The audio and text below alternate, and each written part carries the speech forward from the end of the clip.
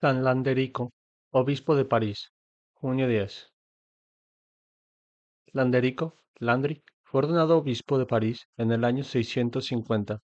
Era un año de hambruna.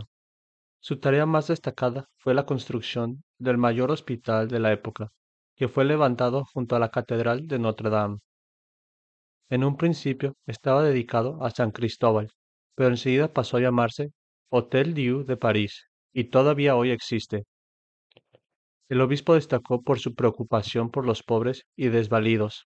Con el hospital no se llegaban a cubrir las necesidades de la ciudad, pero sí a paliar en algo la situación. Se dice que en cada cama había en ese momento un enfermo, un moribundo y un muerto. Entrega total. Por su parte, Landerico no hacía distinción de personas y trataba a todos con caridad. Consta que llegó a vender sus objetos personales, mobiliario e incluso algunos objetos de culto para repartir el dinero entre los pobres. Landerico, junto a 23 obispos más, fue uno de los firmantes de la Carta de Privilegios que Clodoveo II concedió a la abadía de Saint-Denis en 653. También encargó la redacción de las llamadas fórmulas de Marculfo, que son formularios jurídicos eclesiásticos.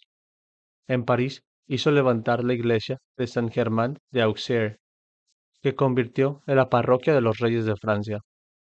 San Landerico falleció en el año 661.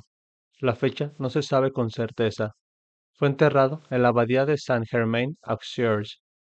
Allí se conservaron la mayoría de sus restos, a excepción de dos huesos que se trasladaron a la parroquia de Saint Landry en el año 1408. Sin embargo, durante la Revolución Francesa, los restos fueron sacados de Saint-Germain y están en paradero desconocido. En la iglesia quedan hoy una estatua y unos frescos dedicados al santo en una de las capillas. Su festividad se celebra el 10 de junio. Oración. Señor Dios nuestro, que en San Landerico has querido dar a tu iglesia un modelo de buen pastor, concédenos por su intercesión ser apacentados un día con la grey de tus santos, en la abundancia de los gozos eternos. Por nuestro Señor Jesucristo. Amén. San Landerico, ruega por nosotros.